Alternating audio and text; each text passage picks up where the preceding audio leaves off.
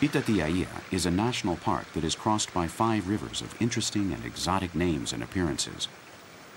The Prieto River, the Maromba, the Marimbondo, the Flores, and the Aiuruoca drink and shade for a grateful fauna.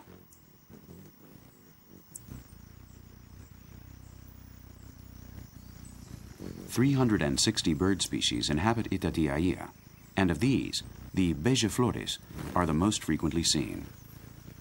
Some types of hummingbirds are endemic to this place, as are the flowers from which they feed.